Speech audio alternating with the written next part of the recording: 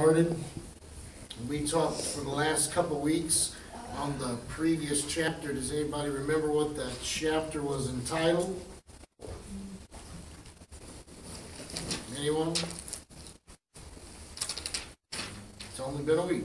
Temples of glory. It was temples of glory. We spoke specifically, we looked, for the first week, we kind of looked at a, a timeline perspective from generation to generation as to what has taken place in our world around us that has affected not the church's view, but our world's view of, of morals and why has decay become so rampant?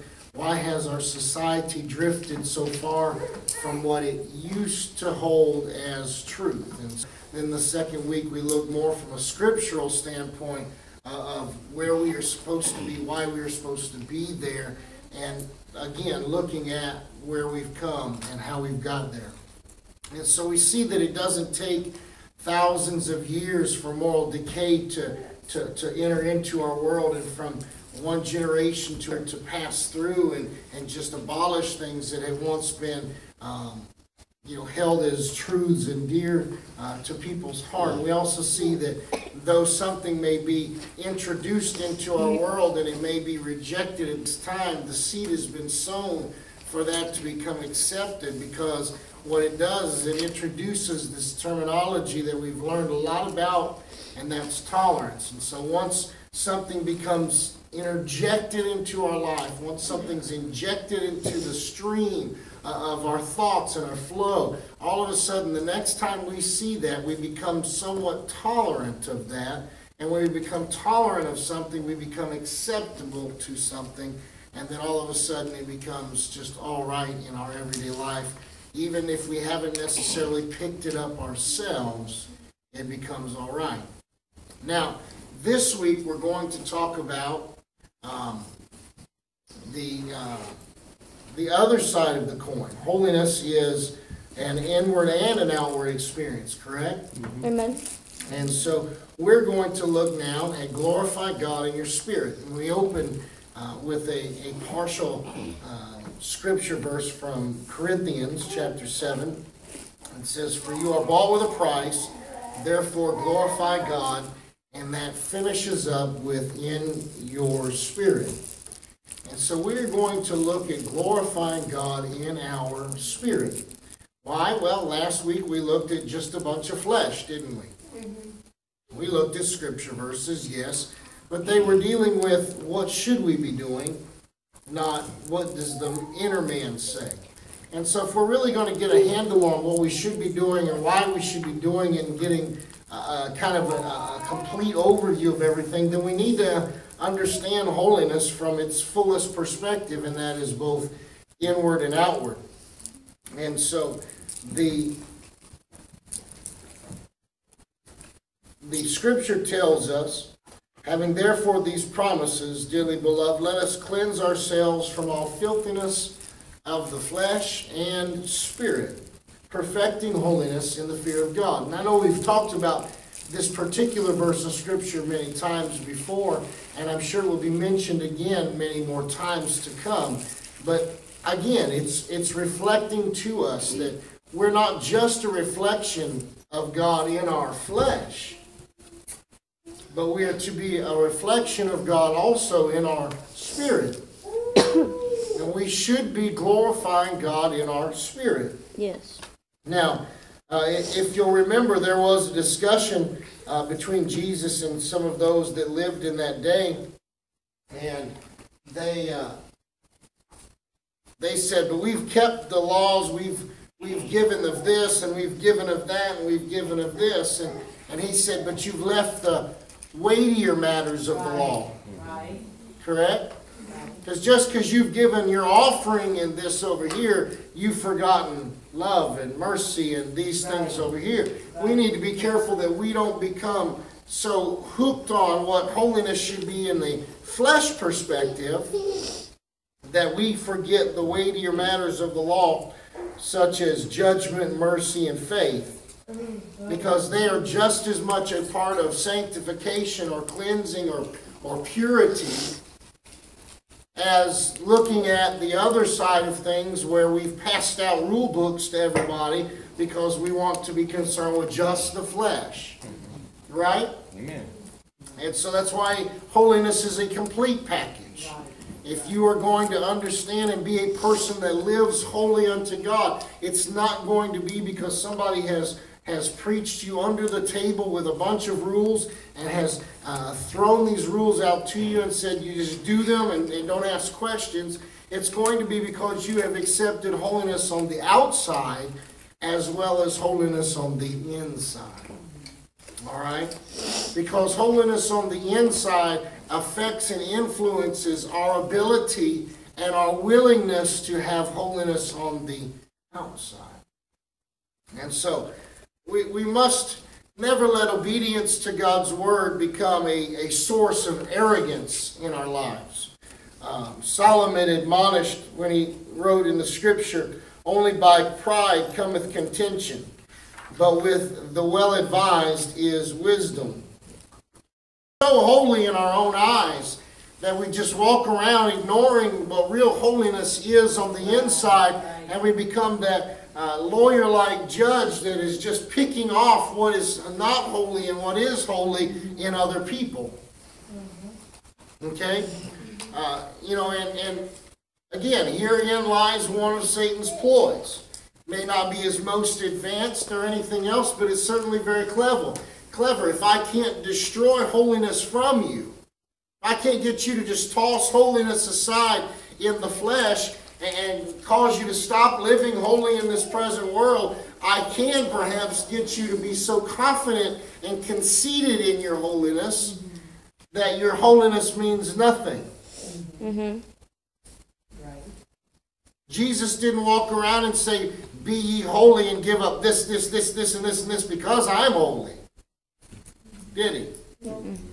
He said, Be ye holy for I am holy. That's right. He didn't look to see how he was more holy than everybody else. He just said, Here is the command be ye holy, for I am holy. Amen? Amen. And so what happens is he begins to tempt us with a little bit of this thing called pride. And we've talked about pride in certain areas in relation. Satan's very familiar with pride. Pride is one of the things that caused the jealousy in him and, and the rebellion in him to come full circle and for him to be cast and banished out of the heavens. And pride furnishes fertile soil in which the seeds of envy, strife, and debate begin to flourish. And when these spirits then begin to spin out of control, all of a sudden we don't have true holiness. We may have resemblances of holiness. We may have markers of holiness in our life.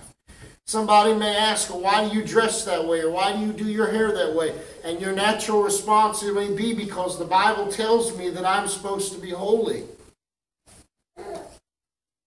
But there'll be no real mark of holiness in our mm-hmm. life because of the fact that we have become judgmental and critical, mm-hmm. and pride has become that thing that flourishes in our life to destroy us and causes us one of the most dangerous things in our lives, and that's comparing ourselves by ourselves. Yeah, that's right.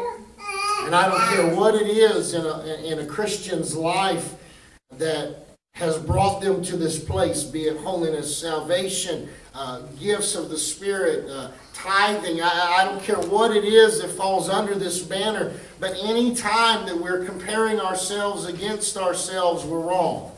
Amen. If you want to say, I must be more right with God because I gave $100 more than the Colberts did this year, that doesn't make me more right than the Colberts are right. Because he looked at the widow who walked to the box and he said, She hath given all that she hath. Right. Isn't that right? Yep. Now, I'm going to do a little bit of reading this particular week because uh, as Sister Reader began to pen, uh, she used a, an example which I, I, would be hard pressed to try to either summarize and or to come up with a competitive um, example of my own. And so let me just, if I could, her husband's name was Michael, and as a new convert, her husband experienced firsthand the destructive effects of spiritual fault finding. And I'm sure that if you've been around any length of time, you've probably run into one or two, maybe more individuals that had that certain gift of the Spirit on their own. A- a- Amen? They were spiritual fault finders. That was the gift that they felt God had given them, and that was to enlighten the world as to where people were at fault in the Spirit. Let me read you his story because as as it reveals in his life, and thank God, you know, at that sake, a, a point of time, he was able to become aware of what was going on and, and cause the ship from completely spinning out of control. But let me read you the story so you begin to catch a glimpse of how dangerous and how quickly something like this can settle into our walk with God. Mm-hmm. I'm not just talking about somebody else's walk with God. I'm saying it can settle into our walk with That's God. right. And if we're not careful to notice the soil that is being fertilized within our lives and our hearts, then we can sometimes begin to grow seeds that we've not intended to grow. And once you begin to grow those seeds and they begin to flourish, we better watch out. Nobody plants weeds, they Nope. just seem to grow. That's right. Amen? hmm And if we're not careful, they will grow to the point, as the scripture does tell us, that they will then choke out all that that grows, we've Oh, intended to grow. So here is his story. I remember when I first came into church in 1979, it was the greatest thing that had ever happened in my life. Excuse me. I came out of the world in the days of John Travolta and Saturday Night Fever when disco was the rage. And I know that nobody can relate. I know that this is probably before the majority, if not everybody, within this physical congregation tonight was born. But hey, I was there. All right. My usual dress was a tattered t-shirt and blue jeans. However, I became caught up in the disco craze. So I purchased white, high-waisted, bell-bottom pants, a white vest, and a black shirt with a big collar. Again, just for the sake of your visual appearances today, when I say I, remember that I'm referring to this man named Michael. Okay? Please don't put me as John Travolta in your eyes. It'd be tough to listen to me preach on further occasions. But in the life that he is displaying for us, as the he, he's talking about his life as he was getting ready to come to Christ. It said, I also bought an awesome crushed red velvet outfit that had high waisted bell bottom pants, a vest, and a white collared pink shirt. Together with my black platform shoes, these were by far the best clothes that I owned. Enough said, I suppose. Yeah. I was ready to hit the disco floor, but God decided it was time for me to hit the altar. He called me, He chose me, He saved me, praise God. Just four months after I obeyed the Acts 238 experience, camp meeting time came. I'm sure that in each and every one of our lives, we can remember how it was after we came to the truth or the knowledge of a little bit of truth, and all of a sudden a conference or a retreat or a camp meeting came, and all of a sudden we felt like we had been immersed in the greatest waters of, of the world, and the rejuvenating fountains began to flow as preachers that we didn't know and didn't know us really began to preach to our hearts and our minds. And I'm sure that you can relate, and that's, that's, that's what he's experiencing. It says I was ecstatic. I, I couldn't wait to go. I got rid of my, excuse me, I got rid of my green Gideon Bible and purchased a new one bound in black leather. The only criteria in choosing my Bible that was that it looked good at my side. As I packed for camp, it was obvious that my best clothes must be included, so into my suitcase they went. They were all beside the blue jeans and tattered t-shirts that I own. Camp meeting was just like they said it would be. The choir sang like angels. The preacher was on fire. I arrived early for every service so I could sit on the front row. Excuse me. As a new convert, I was drinking it all in and basking in the glory of my new Holy Ghost filled life. And then it happened. While in one of the services, I stood there in my freshly clean, crushed red velvet outfit, admiring all of God's wonderful people. a view made easier by the fact that my shoes made me three inches taller. Suddenly, two elderly women descended upon me, clothed in black from their chins to their wrists and to their ankles, and the pictures of holiness from head to toe. These ladies came, they stopped in front of me and began staring and glaring, looking me up one side and down the other. Then, with a tisk tisk, they shuffled off with stern faces and critical eyes.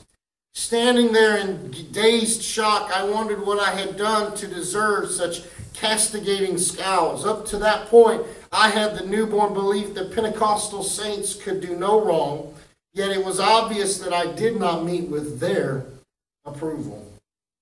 Two people who had no idea that I was only four months old in the Lord shattered me.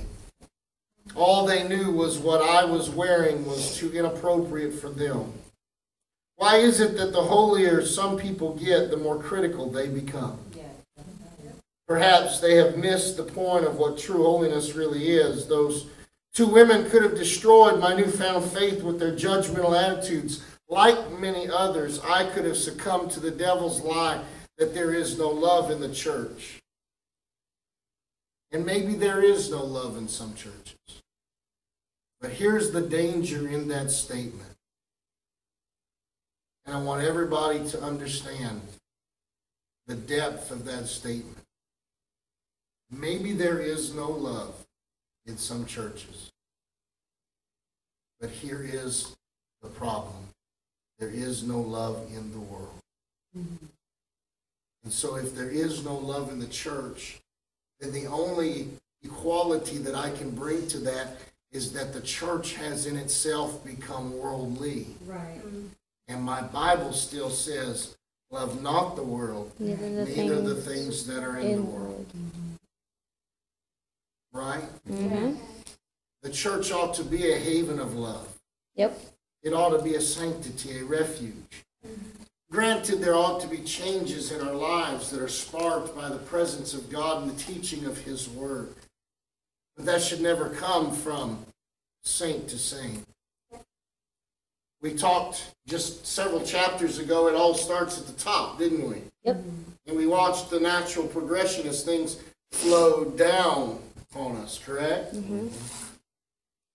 And so we have got to become very careful that we don't become so pious in our own attitudes that we think that we have arrived, that we are the last hope of the holiness movement, Right. and that we've got to go around telling everybody that thinks they're holy exactly what they still need to work on. Mm-hmm.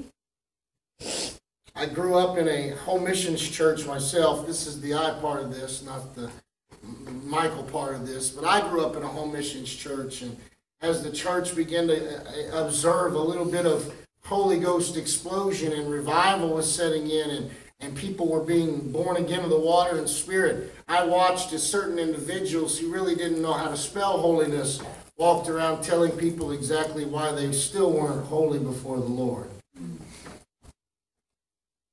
In church, it's something that we've got to understand is that if we don't have love in our church, then the norm becomes backbiting, backstabbing, envy, hatred, unforgiving, jealousy, mercilessness, pride.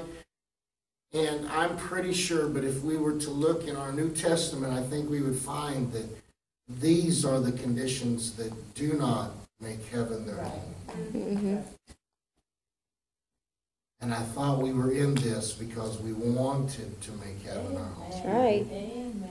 Amen. Amen. And I thought the reason that you had succumbed to the sound of my voice and said, I'm going to church on a Tuesday night because I'm going to listen to things that are going to help prepare me to make heaven my home. Mm-hmm.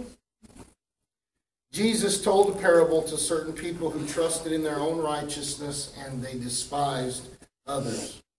The parable went like this. I'm sure you'll recognize it as we get into it, but the parable has a fateful truth at the end. It says, Two men went up into the temple to pray, the one a Pharisee and the other a publican. The Pharisee stood and prayed with, thus with himself God, I thank thee that I am not as other men are, extortioners, unjust, adulterers, or even as this publican, in other words, as one of the other members that have come into the house of God to pray.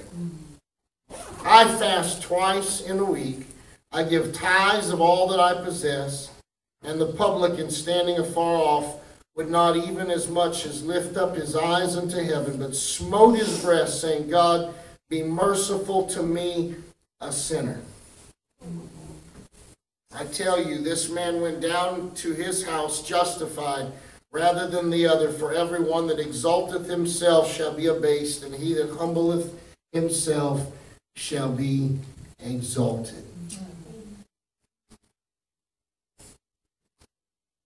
The parable tells us that the publican was the one that went down. The sinner was the one that went down justified.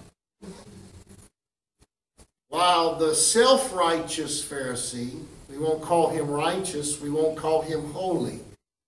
The self righteous Pharisee brought shame upon himself, brought indignation upon himself, brought fault finding and critical attitudes, brought a spirit that wanted to measure himself against those that stood around him. The Lord justified the man with many faults rather than the man who thought he had but few faults. If our fasting and tithing make us proud, then our fasting and tithing has brought us to naught. Yep. We've talked several times uh, during our regular services, particularly on Sunday, uh, a few weeks ago. In fact, we talked on a Sunday morning and, and we used the big M word. And, and, the entirety of our lesson literally flowed around the M word. And that M word, folks, is motive. We looked at David, and why did David number the children of Israel? He knew it was a sin. He knew it was wrong before God. His sergeants and his captains stood in his presence and they asked him the question. They said, Are you sure you want to do this thing? You know that it really doesn't matter how many people are out there that are fighting for us, because if we need more, God will just somehow give them to us. They tried to persuade him knowing that it was wrong, and he, knowing it was wrong, did it anyway. What is our motive? If I'm fasting so that I can say I fast more than somebody else, my motive is wrong, and I've not drawn any bit closer to God, and I've not brought my flesh under subjection which is supposed to be the motive of fasting. If my motive in tithing is to compare myself to somebody else, then my motive is wrong because my motive is supposed to be obedience and joyful giving unto the Lord. It's awful quiet. Amen. You- You understand what I'm saying? Amen. Our motives must be right. If our holiness makes us haughty and we start to despise other people, then we really need to check the dipstick of our soul because that's not holiness. Because holiness does not exist in the absence of love. The Bible tells us God is love. That's right. That's right. Isn't that right? Amen. And you can only have holiness in the presence of love. Because you'll never have righteousness in the absence of love. Right. These things flow from each other. James taught us this Speak not evil one of another, brethren. He that speaketh evil of his brother and judgeth his brother speaketh evil of the law and judgeth the law. But if you judge the law, thou art not a doer of the law, but a judge. And he said, Let us be not hearers only, but doers. What was the scripture? He that kneweth to do good and doeth it not, To him it is sin. smite me, Lord. Smite me. The judgment seat may be the best seat in the house, but there's only one who is qualified to occupy that seat of power and judgment. Jesus rebuked the Pharisees and labeled them as what? Anybody remember? Hypocrites. hypocrites. He called them openly and outwardly, he called them hypocrites. Mm-hmm. The reason he called them hypocrites was because they focused on their outward appearance while ignoring the inward condition of their heart. They talked about how magically they dressed, how many times they prayed, how much they had given. They talked about how they had done this and how they had done that, but they had completely ignored the inward condition of what God said was important. He called, he said this, he said, Woe unto you, scribes and Pharisees, hypocrites, for you make clean the outside of the cup and of the platter, but within you are full of extortion and excess.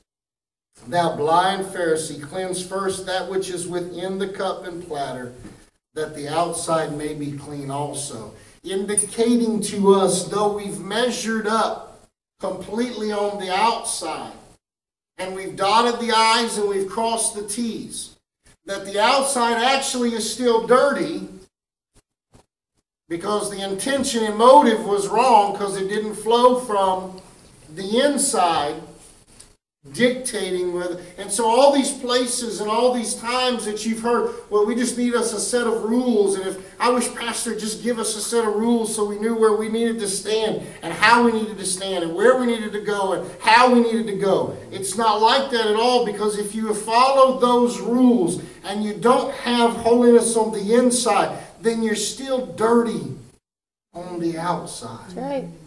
you just look good doing it That's right. Lucifer was the first one who was perfect in outward beauty. Yet he was filled on the inside with deception and murder. Jesus warned us that our appearances could be deceiving. He said, Woe unto you. Isn't it interesting how many verses of scripture we're pulling up at tonight? Woe unto you. Yeah. He said, Woe unto you, scribes and Pharisees, hypocrites! For you like whited sepulchres, which indeed appear beautiful outward, but are within full of dead men's bones and all uncleanness. Even so ye also outwardly appear righteous unto men, but within you are full of hypocrisy and iniquity. In other words, you can look holy from head to toe and be nothing more than a hypocrite, pulling on a shallow display of insincere piety. That is right. You ever been to the furniture store looking for a new dresser? And as you're walking down the long rows of dressers, you just, ooh, I like that. Oh, really looks sharp. And it's in our price range. How does that happen? And then you buy it and you bang it when you're walking through the door of the house or trying to get it up the stairs, and all of a sudden it cracks. You're like, wood shouldn't crack like that. See, the problem is it wasn't wood. It was this cheap, cheap thing on the inside covered with this slim portion of veneer mm-hmm. on the outside. To see, veneer just has a capability of covering the outside to make it look like something else that it isn't. And that's what he's indicating to us here is that we can do all the stuff right on the outside. Mm-hmm. And if we've never addressed the spirit, then what we've done is we've pulled a mask over who we really are for all the world to see. Colossians chapter 3, verses 12 through 15, Paul emphasizes proper attitudes of the inner man. He says, Put on therefore as the elect of God, holy and beloved, bowels of mercy, kindness, humbleness of mind, meekness, long suffering. Now, are any of those things that you're putting on the outside? No, they're not. They're the conditions of the inner man. That's right.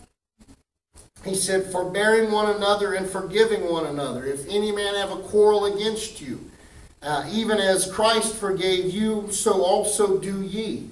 And above all these things, put on charity, which is the bond of perfectness. It doesn't say which is like the bond of perfectness. It says which is the bond of perfectness. And let the peace of God rule in your hearts, to the which also you are called in one body, and that you would be thankful. Again, inner man. That's why the Bible says, strive to follow peace with all men and holiness. That verse of Scripture has nothing to do with your outer man. Mm, that's right. That verse of Scripture has everything to do with your inner man. Mm-hmm. Strive to follow peace with all men and holiness, without which no man shall, Shall see the Lord. When he says, Be ye holy, for I am holy, he's talking about inward and outward. Mm-hmm. But that portion of scripture in Hebrews where he says, Follow peace with all men and holiness, that is concerning our inward, who we are on the inside, what is dictating what's going on in and out of our lives. Because we can become so full of ourselves so quickly. The trumpet of truth must always sound a clear note. However, the truth must be coupled with mercy. By mercy and truth, iniquity is purged, and by the fear of the Lord, men depart from evil, the scripture tells us.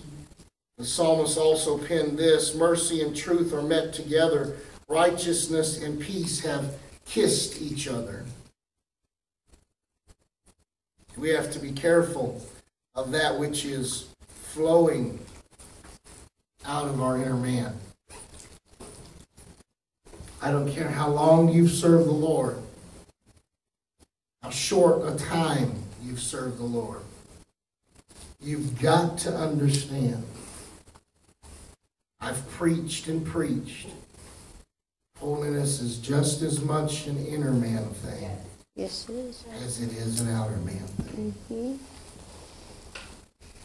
It's the express reason why I teach principles. Because principles can be applied and understood everywhere at all times.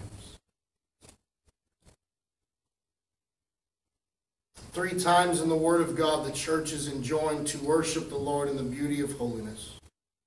Many times, this injunction is perceived as worshiping the Lord in holiness standards such as our hair, our clothes, the places we go, the things we ingest. However, to worship the Lord in the beauty of holiness literally means to worship the Lord in the beauty of being like Him. It's not just an outside thing. The very nature of God is holiness. Moses spoke in worship when he said, Who is like unto thee, O Lord, among the gods? Who is like unto thee, glorious in holiness, fearful in praises, doing wonders? Isaiah penned it like this in verse chapter 6, verse 3, when he cried, Holy, holy, holy is the Lord of hosts. God is the very essence of pure, unadulterated, holy beauty, which is why he could stand and command us to be ye holy, for I am holy. It wasn't a judgmental, critical point, uh, position from him. It was a drawing. Mm-hmm. It was a clarion call to those that claim to be children of the name. To not just stand in a position of having your sins washed away. Oh, yeah, I'm sure Michael understood after a little bit of time that dressing like John Travolta was just not going to cut it in the church. That that's not how God intended for us to come. I mean, you wouldn't want to see your pastor in red, red velvet, high waisted bell bottoms, would No, no. Thank you, somebody, for saying no. I do appreciate it. Lets me know that either someone's awake or the rest of you just not sure what holiness has to do with it. I'm sure he would have gotten to that point where he understood that God was calling us to look different. But but we shouldn't be the ones running around taking care of God's business, Right. Amen. judging the world. Uh-huh. Amen? Amen. And it's odd, you know, I've, I've seen through the years, and it's just a personal observation, that sometimes the people who become so critical have faults in the same areas that they become critical of. Mm-hmm. Yep. Holiness standards are a medium whereby we separate ourselves from the world and all of its influences of evil. As we are cleansed inside and out from the bondage of sin, the vestiges of Satan's control become eradicated from our lives. That's why the Bible says you are a new creature. He didn't just say you put on new skin, gave you a change of clothes. Instead, he said you're a new creature. Old things are. Passed away. Behold, all things are have become. become new. We are no longer under Satan's devices. This enables the image of God to shine forth and reflect in the earth as we become holy. Not as we are made holy, or we are divinely fashioned in holiness, mm-hmm. but as we become holy, even as He is holy.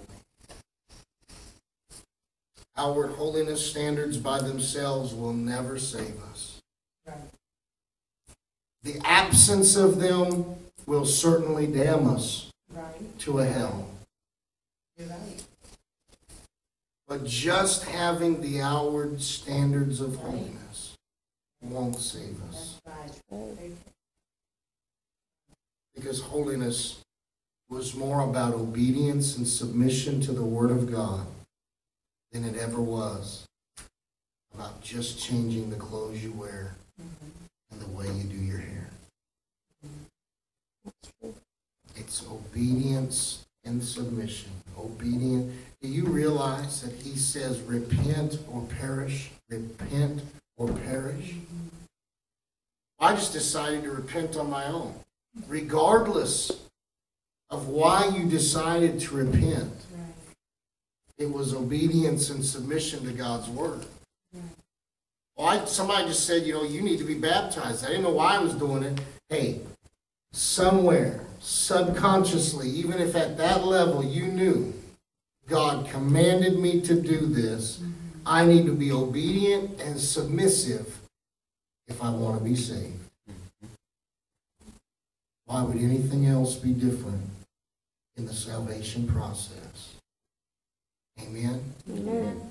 It's obedience and submission to the Word of God that brings salvation. The inward work of the Spirit is reflected in the outward application. We've talked about it several times. I, I don't know how many other ways to say it. The outward will always begin to reflect at some point in time the the conditions of the inside. That's right. You might be able to mask it for a little while, but it eventually works its way out.